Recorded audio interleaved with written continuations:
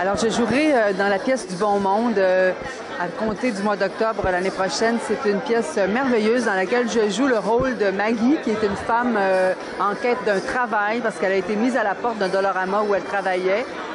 pour pouvoir faire vivre sa fille qui est handicapée et tout ça. Donc, elle a une vie qui est pas facile. Ce que j'aime de ce personnage-là, c'est que c'est un personnage digne et fier. Et elle est entourée de gens très colorée aussi qui vont l'aider dans son cheminement. Elle a des amis. Euh, elle a une propriétaire qui joue par André Lachapelle qui, qui va être merveilleuse dans ça. Euh, Chantal Barry qui va faire euh, ma, grande amie qui me défend envers et contre tous. Il y aura Benoît Gouin qui sera...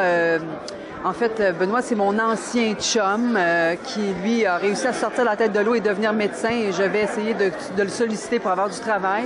Il y a aussi une jeune Amélie, euh, j'oublie son nom, je suis désolée, euh, qui jouera l'épouse euh, de Benoît.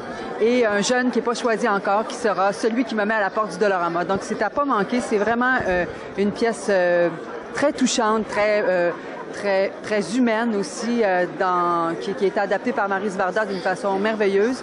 Alors, on vous invite à venir. ce sera un beau moment de théâtre, j'en suis sûre.